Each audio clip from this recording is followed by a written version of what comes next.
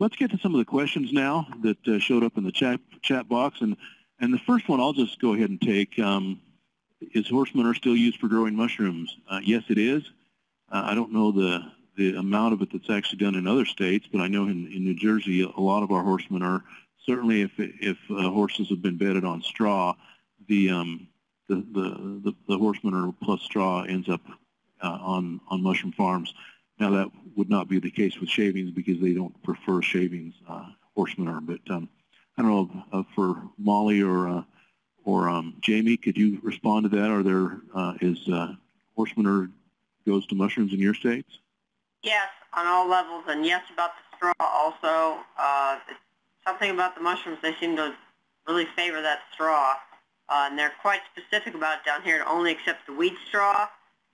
But yeah, the mushroom growing in, uh, on the wheat straw slash manure is definitely in use in this state. Okay. Okay, the, uh, the first question is, uh, what are some uh, some horticultural options for composted horse manure? And, and I think um, maybe what's being referred to is is uh, the use of composted uh, horse manure on vegetable crops. I, th I think I'm reading that correctly. Um, are there are there options? Are there concerns about uh, the use of uh, composted horse manure on uh, on uh, on horticultural crops? I, I think just what we've mentioned about you know with the vegetable crops, but that we've touched on that. If he needs more information, I recommend he go to that Dow AgroSciences. Um, but I don't know. I feel like Molly. Do you have any other ideas? No, I I think that's uh, you know, that's a good one. I would um, have more research available, but it's going to be uh, the end of the summer, and I'm sure it'll be posted on the Maryland Department of Ag site. I, I would think one of the, the, the issues is relates to um, um, direct food crops as well, that uh, when you're spreading uh, something that's not composted, there's concern about pathogen uh, and food, and food safety. So uh, I assume that's one thing the question was related to. What are some of the benefits of, uh, of composted horse manure on soil quality? Um, Steve, if you're there, I, I, I that might, might, direct that to you a little bit. I know you've done some work with composted horse manure and uh, effects on soil quality. Are you there? Yes, sir. Um, yeah, Molly had touched on an awful lot of it in her presentation. Uh, those are the real key benefits, uh, increasing the organic matter and the water holding capacity, um, as well as supplying and folks in the dairy industry have been doing it for a long time. Uh, a kind of a residual type of fertilizer availability. Um, much, much of the uh, manure and the nutrients in the manure are in the organic form, and they, in order to go through those transformations to become plant available, it does take a good bit of time and, and some microorganisms to work on it. And so adding the compost and uh, the, the, manure, for that matter, uh, kind of gives us a little bit of residual nitrogen that we get to take credit for in our future crops. So that, that's one of the really, another key benefit. Another question is, uh, what are some options for managing moisture in horse manure composting? And um, I, I, know some, some things that I've seen is, is, is if um, maybe you don't have good available, availability of water, maybe you're not near uh, um, water hydrants or anything where you can easily e easily uh, apply water. Uh, what are what are some different options? Um, I could add to this just to be sure that your your pile is covered. We use, uh, and I've seen it in other systems as well, you know, a greenhouse type cover. And it really, we have so much condensation from it that we actually have to have a biofilter pull some of it off. But if you're in a very dry area and you want that moisture to, you know, come back down through your compost, um, I would be aware of keeping a cover on it that offered some kind of a greenhouse effect. Okay, good. Um, next question, um, optimum temperatures for manure composting. I think uh, I look up and I think, Jamie, you just responded to this one on uh, in the chat box. Um, temperature range should be in the 110 to 150 degree range. Uh, any cooler and it won't work well. Any hotter and the bacteria can be harmed. Does yeah, that now, uh, pretty much sum it up? Pretty much, although I have had people tell me that they cook it up past 160 degrees and it's great. So, uh, you know, composting is a practice.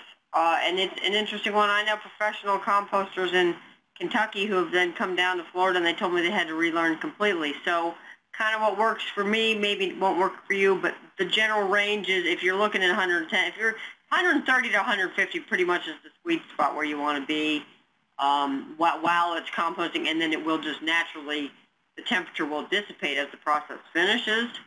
Um, but as you're looking for high range temperatures, that's about, that's pretty much where you want to stay. Okay. And Jamie, I would agree with that. We do try to keep our compost um, 130, 135. It can get as high as 150, but it, it must remain there for three days is what I've always um, uh, heard if you do want, you know, to really be successful with pathogen kill or weed seed kill. Yeah, that, that, and actually that's a great point, Molly, because the three day is essential. It must maintain those temperatures for at least three days. And actually, uh, for the commercial composters down here, uh, they have to maintain those temperatures for 15 days, according to uh, the State uh, Department of Environmental Protection. Uh, next question, and, and this, this is just kind of a teaching point here about what's the why is airflow so important in horse manure composting? And I know some of you talked about that in your talks, but maybe just to reiterate that a bit. Why are we so focused on airflow?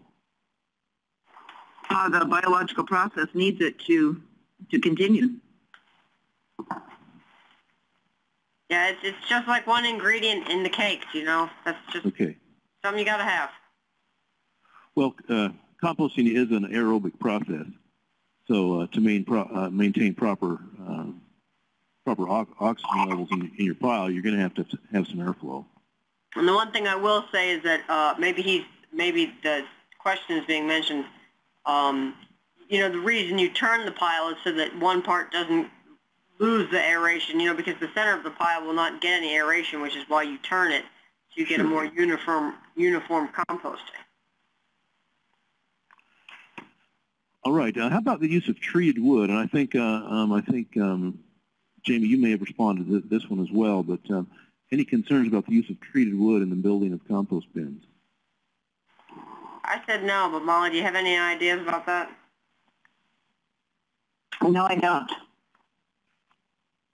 I, I've never, I've never heard it being mentioned as a problem. I've never heard of any studies. Um, it's not to say that it wouldn't happen, but I, I know nothing about it in the, the eight years that I've been associated with this. Yeah, I have heard nothing about it. How about the transmission of disease vectors? And I'm, and I'm my guess is the question may refer to uh, like vermin and things of that nature, uh, um, rodents. There is nothing that is going to survive in a composter that is running between 130 and 150. Not three days. Sure. Yeah. Right, right.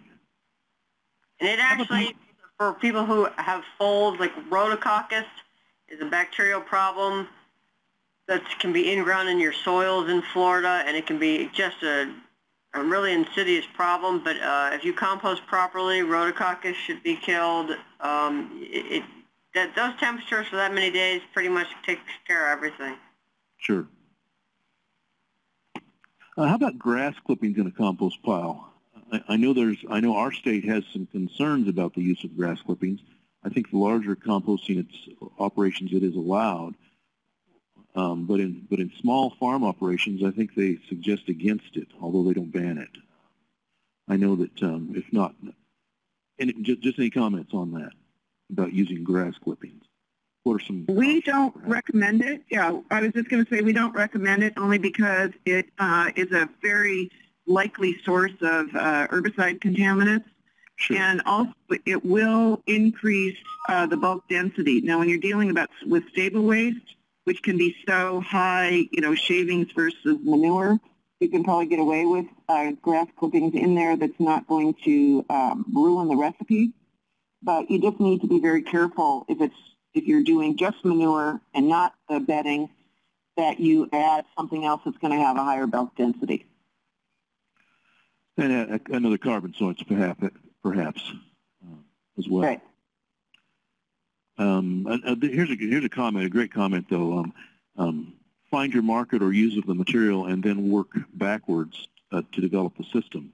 And uh, you know, I'm not sure exactly how you go through that, but if you know your market is a, a certain market, then you can kind of um, maybe that's a better approach to de determining the best way for uh, for you to, to manage your compost.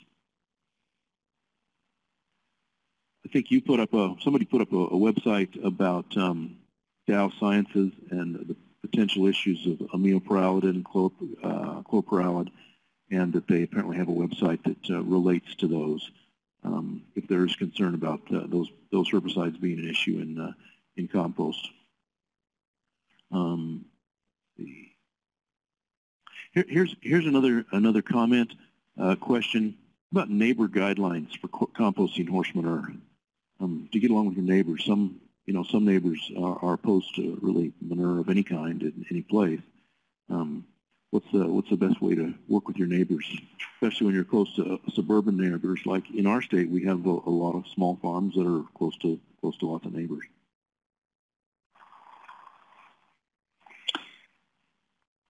I think you have to do a, good job of your composting. Uh, having it contained, whether it's in a concrete bunker, you know, having the cover. Again, I think education, whether you want to be proactive and approach neighbors and tell them you're going to be doing this, of course, after you've got permits. um, but just be, you know, be really proactive. And I think even offer to take them a load of the compost for their yard so that everybody realizes that what you're doing is a good thing. I, I agree with you, Molly. And actually, when I was at the Waste to Worth conference, we went to a farm that actually did that, and they had people people love gifts, and when you you know when you give good compost that can really grow things, that can help a long way. And and it is it's just management, just like she said. Sure. Um, how about this? I think is more for you, Molly, because it came in while you were speaking. Um, someone asked about suggested. Uh, you suggest screening the compost material before use after it comes out of that that uh, the compost process? Should it should it be screened? Right. Uh, you know, to be aware of what product looks like looks like when it comes out, there are some areas where there's going to be, you know, pharmaceutical tubes that came out in a, a stall that got cleaned, a bute tube or a worm paste tube or whatever. Obviously, that needs to be screened out. Um, if the manure balls have not been sufficiently broken up in the material, personally, I don't believe you're going to have a quality product if they haven't because of what they need to add to the, um, you know, to the compost. But those would need to be screened out. Uh, if you end up with, you know, if you get bulk shaving, sometimes you get a larger piece of wood that somehow manages to make it in there. Um, that getting screened out.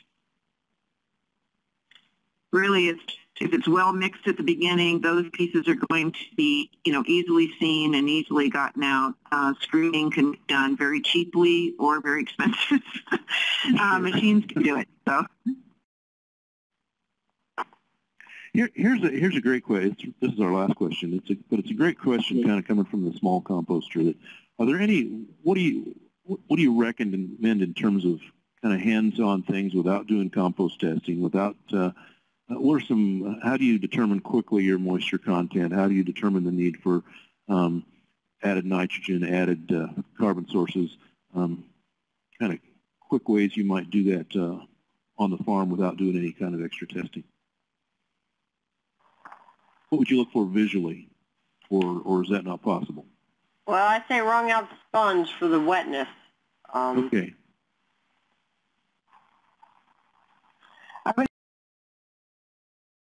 agree with Jamie. You know, the consistency, you certainly don't want it dusty.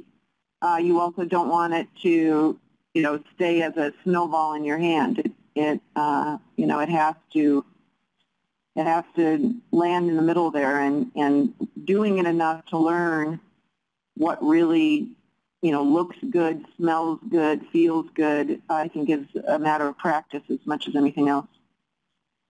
Right, right. And Mike, there are some really good kind of cheat sheets that allow you to estimate what the carbon to nitrogen ratio uh, is for certain materials that we're using. And uh, that's really simple math to calculate a ratio so you can get really close just by using some uh, book values for that kind of, uh, for those kind of materials. Okay. What about the squeeze test for qualitative uh, horse manure compost quality? And I, and I know I've done that to determine moisture content. You know, if it doesn't drip water out of your hands, you, you, you figure you're not too far off. Um, so any, any, any other comments from any of our speakers? Great job on the questions. Yeah, thank you very much. You can always contact us if you have further questions.